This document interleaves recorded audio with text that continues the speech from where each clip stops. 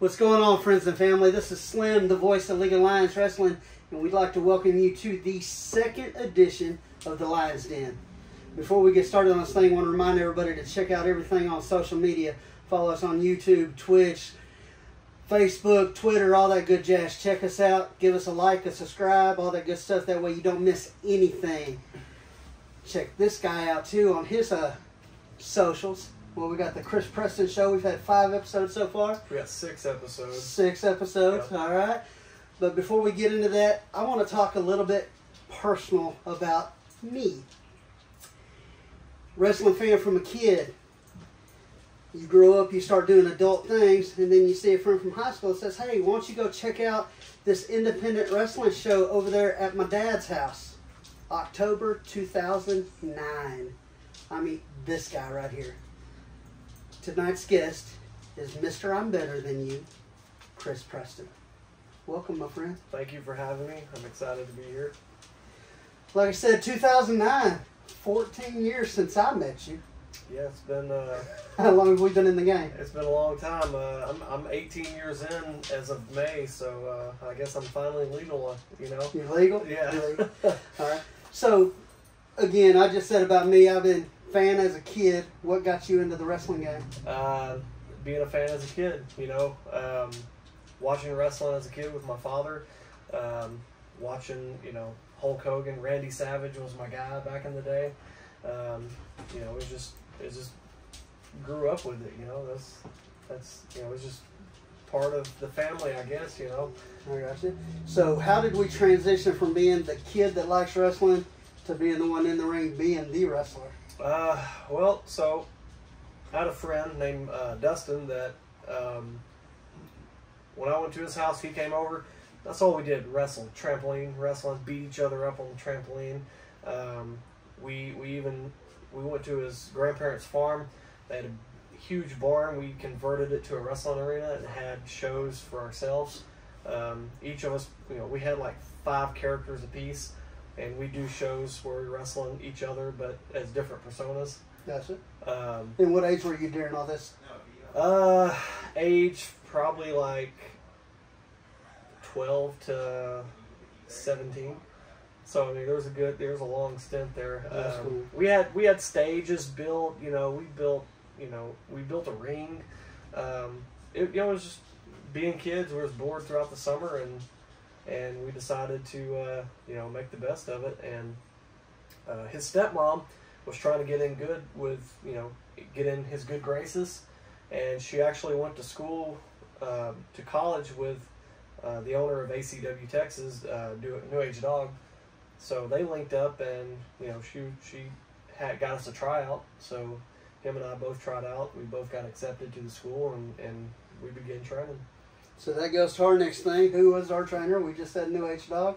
Kind of throw us through what a, a training session was like with New Age Dog and how it progressed to get you to where you are today. So, so I guess technically New Age Dog is the trainer. Um, I worked extensively with guys like Mongoose, uh, Andy Dalton, um, Joey Titan was probably the most hands-on person. Uh, Bruiser was there. Uh, Jeff, uh, which he wrestled as Maverick, uh, Cordova. Um, you know, th- th- there's there's countless guys that came through that place that got in the ring, as well as Dog. Dog was, you know, in in their um, uh, training as well. But those guys, you know, Mongoose was a big influence on me breaking into you know wrestling. He was he was one of the guys that um, I'd say Mongoose and Joey Titan really, really, uh, really showed me the most and really helped me the most. Just invested the most time in you. Yeah. Very cool. Very cool. All right. So 18 years in, we're finally legal. Yeah. Get that up. Tell me that one moment, the, the defining moment of your career when you look back and you say, this is where I made it. Um, I would say, you know, um, I mean, early in my career, when when when Mike told me he was putting the the the Young Guns Championship on me, um, beat Justin Sane for the Young Guns Championship. Um, okay, well, this is it. This is this is um, this this kind of justifies what I'm doing. Gotcha. I'm not just going out there getting beat up anymore. I'm not, you know, I'm not I'm not getting jobbed out in five minutes, getting my ass kicked, getting chopped to death, and um, I, this, you know, they're actually putting time and effort into me. They're giving me something, you know, storylines. So I think that was the point where like I was like, okay, I can do this. I can, I can, I can go. Gotcha. This is a very similar question, but not really a defining moment, but your favorite moment of your career. Um, man, I've had more. I don't know. That's that's kind of difficult. Um, one of my my most favorite moments is is probably after the first LOL show. Um, you know, we when we started LOL, we had um, we had a lot of doubt going in. You know, about can we revive professional wrestling in Marshall, Texas, and we didn't know if if League of Lions was going to be um, if it was going to be something continue you know that continues or if it was going to be a one and done spot show that's it. Um, and I think the crowd determined that. Right. and I think after that show we saw the crowd the response. Um, I think that that's probably one of my favorite moments is talking to my dad saying we can do this. Let's you know this is it. This is ours. Let's go. So I th- that's probably one of my favorite moments is realizing we we have something. Now let's flip to the opposite. Your least favorite moment in your professional wrestling career. uh, least favorite? It, it's um, you know any any time where someone gets injured is never good. Um, ACW there was several guys there was a guy named Roughneck um, he took a tumble outside the ring um, and landed on his head on the concrete and he was KO'd he was stretchered out on a you know stretchered out to the to the hospital. Um, that was pretty scary uh, you know just watching that. Uh, probably I'd say probably that or the moment I wasn't there for the moment that I was wrestling Justin Sane in a casket match and I landed on my head and I was knocked out unconscious. Had so a, had a there physically, just not mentally. the lights were on but nobody was home. Gotcha, gotcha. I want to continue on with that favorite moment because uh, my, my next note says, uh, how did uh, League of Lions begin and the, the School of Lions, where did that all stem from?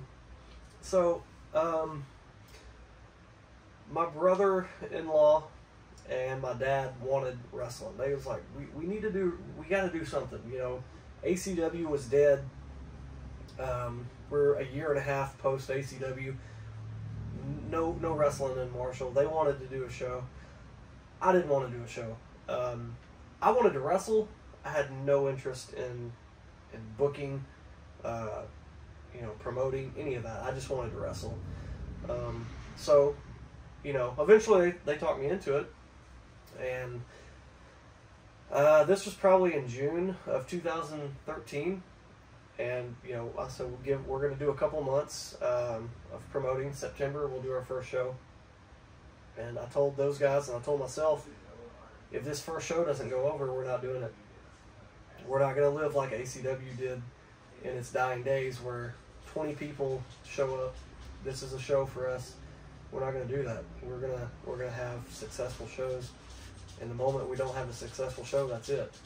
And uh, that first show like it, it kind of blew me away you know? It was like i said earlier it, it kind of showed me that we can do this if you do it right and that's what you know that's been kind of what we've been trying to do since then um, and I think it's working. You know, we've had great crowds, especially the last you know year and a half. It's been consistently almost sold out or sold out, or you know we're running out of chairs.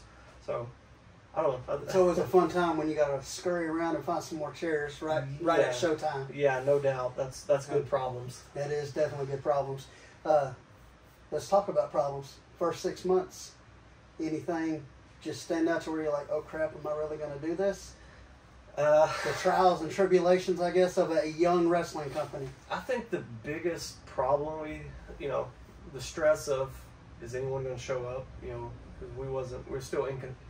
I was still insecure about is people or you know was this a fluke? People are they going to show up? Um, and then cancellations. You know, I found out real quick that you know, you know yeah I'll be there, brother. And then people are like, oh my car died, my my my hamster got sick, I can't make it. You know, the Rangers are playing. I, I you know, but, you know whatever. You know, traffic. It, you know, but people cancel. Ain't Yeah. anybody had that many car troubles in their life. No, not at all. All right. School of Lions. When did uh, we go from just a monthly show in Marshall, Texas, to training the, the next realm of of our wrestlers? So, much like promoting and owning a company, I had no interest really in, in training. Um, I wanted to work out in the ring. I wanted to um, stay in shape, but I really it wasn't my intention uh, to to open a school. And there was a guy named Chris that wanted to um, wanted to train, and I agreed to train him. So he started training. It was just him and I, just one on one training. And he eventually started wrestling as Draken. Uh, somewhere along that time, you had uh, Broken Keith and you had JPV come into the school. And when those guys came in, that's when it really kind of became a school, I guess. And, you know, we started spreading the word, putting putting putting it out there that hey, we are actually a school now. We're gonna try this. If you want to train, we're gonna um, we're gonna do it. And we've had countless. I I probably couldn't count the amount of uh, people that come through and fail. Mhm. But the guys that that do make it, you know, they make up a big portion of the LOL roster, and they're successful. You know, they're they're really important, intricate pieces to League of Lions and the School of Lions. You know, they're success stories. So that's that's kind of they're kind of a um, a testament to hey, we're a good school. There you go. Now, kind of continue with that. If you had to have that proud papa moment, who would it be? Who would be your your graduate that you saw really take this thing and run with it and probably has the most success out there right now? So it's a it's kind of a three way tie. Um, my biggest success stories to me is in no order. You know, you can't. I'm, I'm not listing them. Right, right, right. Yeah. Uh, but the Storm Chasers, uh, Keelik Sunrise, Aaron Storm, and Matlock. All three of those guys have. Uh, they hit the ground running. I showed them everything that you know they needed to know, and they are going out of their way to wrestle everywhere in Texas, um, everywhere in the South. You know, they're uh, every time I talk to any of them, it's like, hey, we're going here, going here, doing this, doing this, and you know that's that's that makes me proud that that my guys are becoming staples in Texas. They're well known figures. They're they're they're a big part of wrestling outside of League of Lions. Many, many different companies. Yes. All right. So we talked about the lights being on and nobody home moment. Yeah. I call it the oh shit moment. Yeah. So, uh, what is your biggest oh shit moment besides that one? Um, there was a moment at LOL where I actually said, "Oh shit." Um, it was early, probably within the first two years. Mm-hmm. Uh, Dylan Smasher was doing a dive to uh, Khan. Yep. Um, Khan threw a chair. Uh, Dylan took a head dive into the concrete through the second and top rope. Uh, split his head, separated his shoulder. Um, I forgot who came. Maybe referee Chris Grimes at the time came came back. You know, Chris, Chris, Dylan's hurt. Dylan's hurt. I peer through the curtain and I see Dylan laying on his side with just a stream of blood coming from his head and I'm I literally said, "Oh shit!" And uh, we had to, you know, of course, get him up, get him to the hospital. And I like I didn't know his shoulder was separated at first. I thought it was just a head wound. Mhm. So I was more concerned about the bleeding than his shoulder. But you know that that that was a, that was another scary moment for me. Yeah, it Definitely. a big scary moment, especially uh, you know one of your favorite guys. You know, um, laying on the ground in a pool of blood. That was that was tough. And then a couple more I want to share and get your reaction of. Uh, Lufkin. Con zigging when he should have zagged and eating a baseball bat. Yeah, uh, that was you know that that that was an unfortunate accident. You Right. know, um, that was one of those things where you know like it could have happened to anybody. Exactly. Um, you know, Colin took it like a champ. You know, he he you know he got it. You know, he, he you know They finished the match and did a great show. yeah he Uh, no no hard feelings or anything like No, that. He not at under, he understood it was an accident. So and they moved Uh, on from it. Broken Keith, suicide dive. Toes clipping the middle rope and face planting you know the only person that was that that took that hard was the security that we had at the time They were not happy with that. and you know um, they took that i think they took it harder than keith took it I think so too. you know and, and that caused you know my dad he doesn't get you know too riled up too often but he finally told him to you know sit down and shut the fuck up essentially Right? and they were still you know they still were like oh it was it was a moment you know but um, let's go back many years. yeah TEW okay had a uh, a father who was a pretty much a part of the show. Believe it or not, he he was a fan that was loud. Everybody loved Big Mike, and uh, he thought he was going to interact with Tommy Jaggers, and Tommy introduced him to a kendo stick. We remember that guy at all? There was there, there was a um, I do remember that, and when that happened, that was you had polar opposite reactions. You had one of two options. Uh-huh. There was no in between. No. There was uh, Tommy, you're a piece of shit for doing that. You know you know him. You shouldn't have done that. And then on the flip side, you had guys who were like, "Well, he crossed the Cross the line. He He crossed weighed the probably line. good 600 pounds. He's a big So, man. I mean, uh, the, the way I see it personally is if you don't have a spot on the show and Don't be in it. And and especially if the guy that is in the show doesn't know what you're up to, don't try anything because he doesn't. I mean, you know, he doesn't know. So Exactly. And, and again, I say this to reiterate, you know, at the time, I thought Tommy's probably the biggest piece of junk in the world because I was a fan at the time as well. Yeah. Like, dude, are you serious? That's it's crazy's dad. Are you serious? yeah, But at the same time, it's a 600 pound man going after a 150 pound sick man. yeah. you know, Tommy ain't ever been healthy the time I knew him. I mean, So- if, if no matter if you, you stand over here, I see it. Mhm. Okay, yeah, I see your point. If I stand over here, I see your point. I, I mean, I think that was just an unfortunate situation. Right, but I can't fault. Uh, I can't fault Tommy. You can't fault No. Tommy. Definitely not. And unfortunately, both of those guys are gone, passed, Passed away. away, Yeah, exactly. So, name association. I say name, first thing pops in your head. All right, Let's start with him. Tommy Jaggers and Jaggers Inc. Tommy Jaggers. Uh, rough. Um, Tommy Jaggers was very, very rough. He was very real. Um, he was one of those guys that he lived the gimmick. Tommy Jaggers in front of the crowd was Tommy Jaggers in the back. He was Tommy Jaggers um, in the car going to a show. I mean, he was Tommy. He, Gotcha. he- but he was rough and he was real. So, and, you know, that's that's not a bad thing. That's a very good thing to me. The East Texas Wrecking Crew. Um,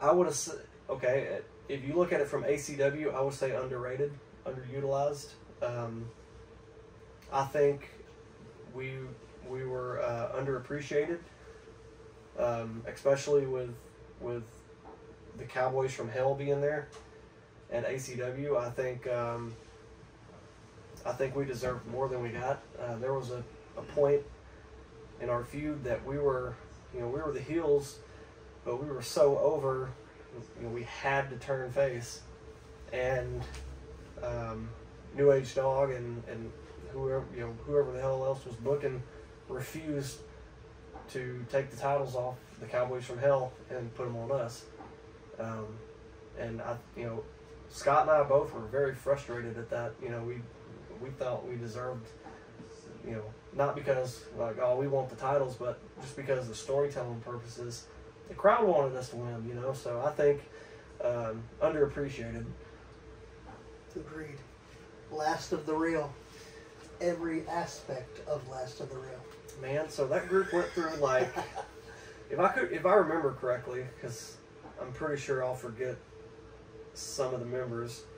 It was myself, Brad Kuza, Court Caution, and Jeremy Preston, if I remember correctly. Am I am I forgetting anyone? You had one in there for about two minutes, but we'll leave him out for later. Okay. Um, that was a fun group. It, it, I don't think it ever really matured into what my vision was at the time, but I'm, I'm, I'm happy with the way it the way it turned out because it gave uh, Brad Kuza and Jeremy Preston, who were extremely young in the business, it gave them something, and uh, they they brought it over to LOL. So I mean, you That know, rub. That rub. yeah, The other one that was there for two minutes. Let's move into there. The Okay. Sex Kings. the Sex Kings. Uh, you know, we were just talking about that earlier, and, and you know, when the guys were before the before the production meeting and stuff, and uh, we were talking about their favorite versions of Chris Preston, and I, I said my favorite version was the Sex King. Um, that that was fun. That was that was Hunter and I riding back from a show, riding to a show, talking and, and you know agreeing that we didn't want to be the Prestons. You know, we wanted something different. So we was like, let's. We don't want to be Preston, the, you know, any version of the Preston Bros or anything like that. So we're gonna do it. We're, we was wrestling on a kind of a, a show that you could do anything. I was like, fuck it, let's be the sex the Sex Kings. We originally we PG'd it and became the Fling Kings, but it was like, fuck it, we'll be the Sex Kings. Right. So. The Mayhem Mafia. Um,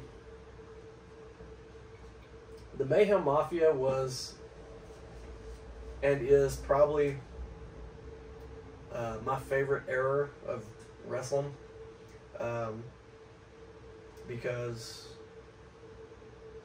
we were ourselves. We are, uh, you know, that's we took ourselves and amplified it, turned it up, and played off each other. Um, Dylan and I, you know, we fed off each other. Um, we brought Kane into the group.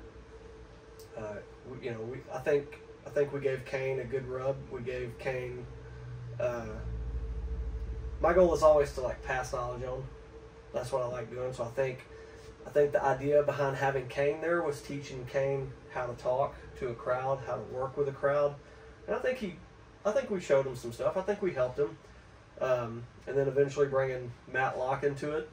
Um, Matt's personality kind of was a mirror image of our personality, so the three of us together, you know, was there was never a dull moment. You know, car rides were fucking stupid hilarious. You know, backstage. Um, any sort of any combination of us wrestling tag teaming it was just fun it was you know it was one of the one of the you know my fond you know any fond memory that i think of is was with the mayhem mafia it was it was good, it was good times you know it was, it was real fun work Gotcha. Court Caution. court caution uh, brother court is he is my brother um, i've known court since 2006 i think. Um, so pretty much my whole wrestling career. Um, and you know we've been friends more than we've been enemies in wrestling. And you know everything i think everything we've done whether it's tag teaming you know Last of the Real three times uh, whatever or fighting and you know a, a bloodbath. I think it's you know it's been fun. Court's uh, court's one of the first guys that i really made a connection with in wrestling. And um, you know he's he's my brother. Justin Sane. Well, I said me and y'all say Court's the first guy that you know really made a connection with. Uh, Justin is he's another he's another brother, um, and uh, I say that in a totally different sense than you know Court and I because Justin and I trained together. Uh, we we got into the business together. We you know we grew up in the business together. I wrestled Justin probably at least a thousand times at, at, at ACW. You know, there was, you know, we were constantly trying to kill each other. Um, and we even had a brief stint as as a tag team. You know, but I think we're better enemies than we are, you know, friends. But yeah, he's he's my little brother. You know, essentially, he, we we grew up together in wrestling. So Sean Cordova. uh, Sean Cordova, he's uh, he's a mentor. He's he's big brother. Um, Cordova has shown me um, a lot in wrestling. He's one of those guys that you know starting out with with you know that, that I've talked about Goose, Joey Titan, uh, Bruiser, all those guys was there. Um, Cordova, he was one of the first guys at an ACW show that you know when I when I started going to ACW shows and being on them. He was one of the first guys that gave me advice in the back. You know, he was like, "Hey man, you should do this or you shouldn't do that." So um, I kind of like gravitated to towards him and Jason Sky, um, kind of because they they talked to me, they were friendly to me. They didn't, you know, they weren't doing the the whole hazing bullshit, you know, back then or anything like that. They were good guys, and I've learned a lot from Cordova. Cordova, I think he's taught me a lot about um, storytelling. He's an excellent storyteller. Think, you know, the the the, the psychological side on, of wrestling of why we do stuff, um, how we do stuff. Um, so uh, he's helped me a lot. I think you know I, I consider him a mentor. He's he's big brother. I got with my kids today and I said, "Is there anything in particular that I need to ask Preston?" And my oldest said, "Ask him about the match of the decade." Okay, When I say match of the decade, which one pops in your head? Court Caution, Chris Preston, um, Texas Face Off Seven. That's the one Yeah. right there. Texas Face Off Seven. Texas Face Off Seven, yeah. Uh, that was um, the storyline to that match. The build up to it was, I thought, was was great. Um, you know, my wife Laura says I'm a better bad guy than I am a good guy, but I was the good guy going in that match, and I think I had like, I think I was able to get everyone behind me. Um, going into there. Everybody hated Court. Everybody hated Tommy. Everybody hated Alan Michaels, and so I think I had all the support going into that match. You know, we um, we told a, a hell of a story. I bled everywhere. Um, Suplex on the bleachers. suplex on the bleachers. Yeah, I think if you go back and watch that match, um, uh, Court does something on the outside. It's one of the first. He does like a moonsault on the outside, and then he in the first hit, it's like, I mean, it's like the stiffest punch. One of the stiffest punches I've ever taken in wrestling, and he just goes to town, just ground and pound. And I had no, I, I couldn't do anything but just cover up. And I, you know, there was fans there. You know, we were like in the fans, so I couldn't like lighten up, brother, or anything like that. You just take it, you know. So that, yeah, that's that was, um, and it. I think it was probably. I mean, they they called it match of the decade. I think you know that's a huge honor, and um, it was one of my favorites. I, I enjoyed it. It was very, it, it was a very tough match for sure. And finally, Chris Preston. Um, well, I think it, it just depends. Chris Preston, it, it depends on what Chris Preston. Uh, you know, Chris Preston, the trainer, Chris Preston, the wrestler, um, the teacher. You know, right now in wrestling, I always tell everybody, I'm like, man, I'm, I'm hitting my prime. This is, you know, this is my prime. I'm, no signs of slowing down. Um, but, you know, the trainer, like, I found a niche in training. I think um, I, I, I, I thoroughly enjoy you know training, passing knowledge down. It's it's fun, um, especially if you get somebody that that wants to learn, that soaks it in like a sponge. Um, it, it's fun. It's and you you can get um, you know you can you just get m- more into it. So um, yeah, that's you know, I don't know. There's two Chris Prestons. There, there's there's two different ones. So, I've got two more questions, and I'll leave you alone. Okay. First one. To me, there's a different kind of opponent. So my question is, who's your favorite opponent? Okay. Number one, skill level. Number two, that told the best story with you. They can be the same guy, but you know that match to where he's just a hell of a worker, and then there's that match. Man, we just told the best story ever. So your favorite opponents on both aspects. So, skill level, um, I've had really great matches with Aaron Storm. Um, and it, it, it was to the point where, like, we were booking, like, Rock and Wrestle Fest, and we were, we were putting together, like, just fantasy matches. And I'm like, you know, Gusher Days is the same way. We're putting together fantasy matches, and, you know, I'm like, I want to wrestle Aaron Storm because every match is a banger. You know, last month wrestled Aaron Storm for the Digital Media Championship, and I think any match that Storm and I have, we can we can put it in the category for match of the year. I mean, you can just take all of our matches throughout the year, put them in a hat, draw one, and put it up against any other match, and I think it's it's a strong candidate. Um, storytelling.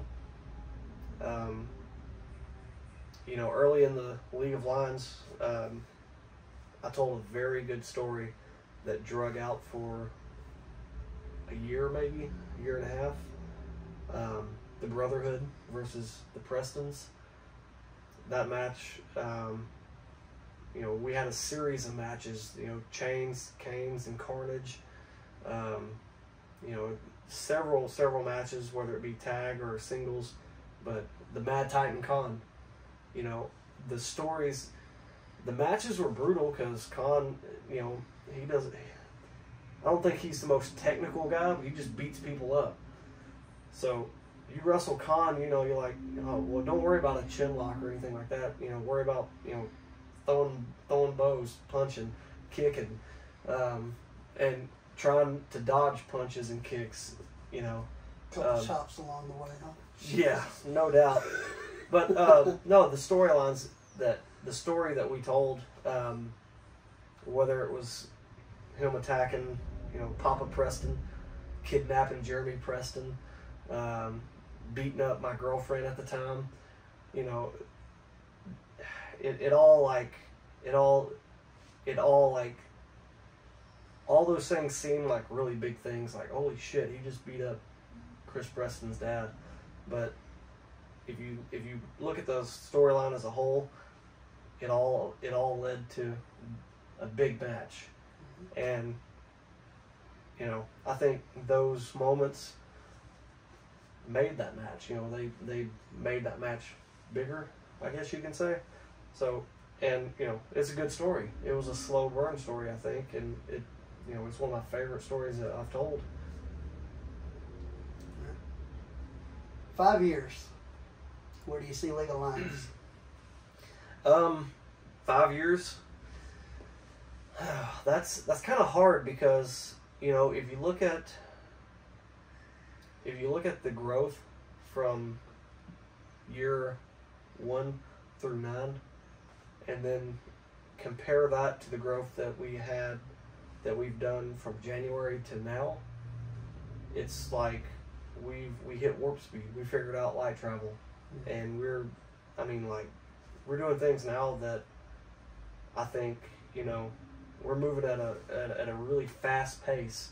Um, production, um, social media, uh, you know, everything. Everything you know, the wrestling's always been there. I think, um, but now we're we're you know we're getting things out there. So, um, five years from now, uh, man, I, I hope that we're we're looked at as one of the biggest wrestling promotions in Texas. Um, I hope that you know, you know, our social media following is out there. I hope we're you know more famous. I guess you can say, as you know, as people you know, thousands of followers on social media watching our stuff on YouTube. I hope that you know we're more we're we're more of a household name in the in the Texas indie scene, I guess you can say, because er, I think a lot of people in the scene knows LOL, but I want you know fans to be like, oh, you're going to LOL next weekend? Cool, I'll tune in and watch them on Twitch. You know, I want them talking to their you know their favorite wrestler at ABC Wrestling and, and El Paso or wherever. And yeah, I seen you on LOL last week. You know, can I get your autograph here? I want, I, you know, that's my goal is to make make LOL a mainstay. Now get selfish. Okay. Chris Preston in five years. Uh, well, I mean, Are you still banging in the ring? Or Are you backstage? What What are we thinking? in in five years from now, I'll be forty. Um, so, in my head, I'm still wrestling. Um, I don't consider myself one of those um, reckless workers. I take care of myself. Uh, all my all my matches are you know pretty safe. Ninety nine point nine percent of my matches are, are very safe. Um, Just leave the gimmicks out, right? yeah, leave, leave the leave the gimmicks out. Um, so I mean, there's no. I, I I don't see I don't see any sign of me slowing down. Um, I've actually stepped back from the the backstage, you know, aspect of wrestling. Um, I don't I don't really do anything backstage anymore. I just wrestle. Um, I really don't have any say so in creative or anything. I can just like just like anybody else in the backstage. Um, I can toss my ideas into the hat, but you know, as far as like creatives, uh, you know, title changes, um, race to the top winners, Flying Lion invitational winners, whatever. Yeah, I don't have any say so over that anymore. I've I've given it back up, and I think it's been a positive thing for me because my stress level has come down. Um, it's less on my plate. I can focus more on helping um, people like Zach on the on the social media side, on the on all the on you know everything non wrestling show related, non storytelling related. I can focus elsewhere and contribute there, and I can do so on a in a way that is you know it's not stress not stressful for me. Um, and we you know we got guys I think that uh, you know Justin he's the booker now. I think he is. Um, I think he's still having growing pains because I don't think he everything he does isn't perfect and you can't expect him to be because he's still very new to this. You know the the booking side. He's been wrestling just as long as I have, so uh, you know this is his first first time venturing into really storytelling booking. Um, but he's doing a great job. I think. I think. Um, I think he's kind of, you know, taking the ball and running with it, and I think he's only going to get better. Agreed. So, but yeah, I think I, I think I'll still be doing what I'm doing now, wrestling, um, full steam ahead. No, no chance or no, uh, no, no, you know, no desire to slow down, no need to slow down. Um, I feel great, um, for the most part. Um, so I mean, I'm I'm gonna wrestle. Before we close this thing out, I'm going to stroke your ego for a little bit. okay.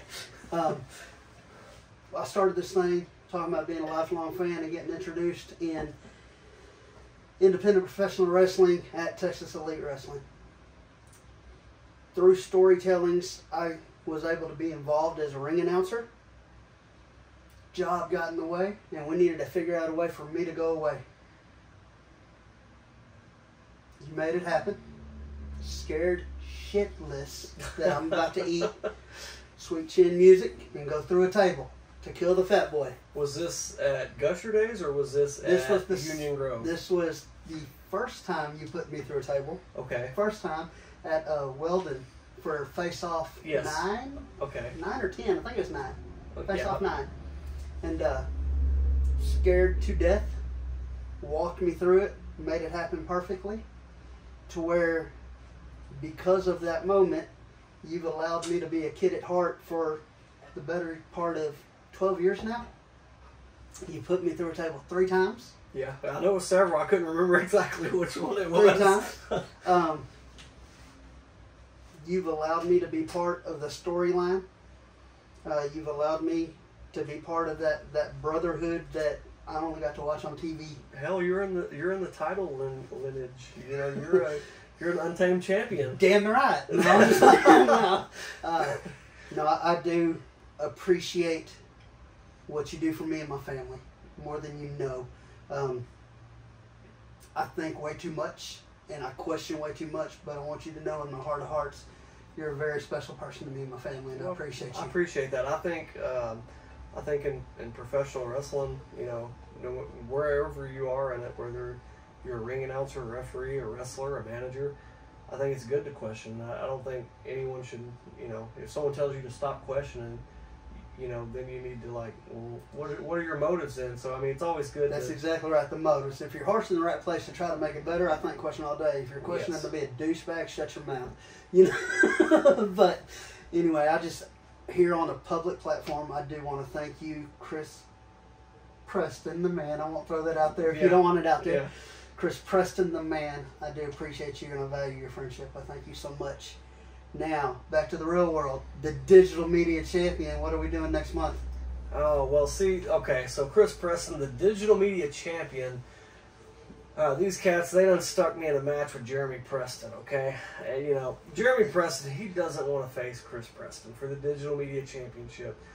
Jeremy Preston doesn't know what he wants to do, okay? So I'm going to have to talk with Jeremy Preston. We're going to go have a talk with Justin Sane. We'll get Jeremy Preston in the Lionheart Championship match. We'll pair him up with somebody put him against the Storm Chasers, but he doesn't want to wrestle me. I mean, who does? I mean, who wants? I mean, everyone wants to wrestle me for that rub, but they don't want to wrestle me because they're gonna lose.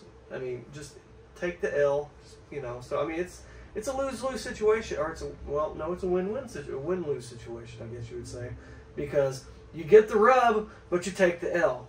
So I mean, your star comes out brighter, but you lost. So I mean, and Jeremy doesn't need, he, you know, he's a Preston, so he doesn't need that rub. He already has it. It- It's in his last name, so he, it's a lose lose situation for Jeremy. So we're gonna go have a talk with Justin Sane, and we're gonna change out. So don't don't don't count on seeing Jeremy Preston versus Justin Sane at Patriotic Punch or. It's a Dirty World in August, or Rise of Lions 10. It's just not going to happen, okay, Slim? It's not going It's to not going to happen. It's not going to happen. Especially if he runs and jumps in the car again, huh? I don't know what the hell happened there. Again, make sure you check this man out, the League of Lions Digital Media Champion. Follow him on Facebook, Twitter, all that good stuff. Right here on YouTube, the Chris Preston Show. Make sure you check it out. League of Lions Wrestling. Follow us on Twitch, YouTube, Twitter, Facebook. Am I missing anything else, guys? League of Anywhere. Lions, League of Lions Pro Wrestling.com. The new and improved website uploaded, uploaded, updated almost daily. Again, I want to thank each and every one of you for joining us here on the Lions Den. It has been my pleasure to be with Mr. I'm Better Than You, Chris Preston. This is Slim, and we're out of here. Our initials might be LOL, but we ain't no joke. Good night, everybody.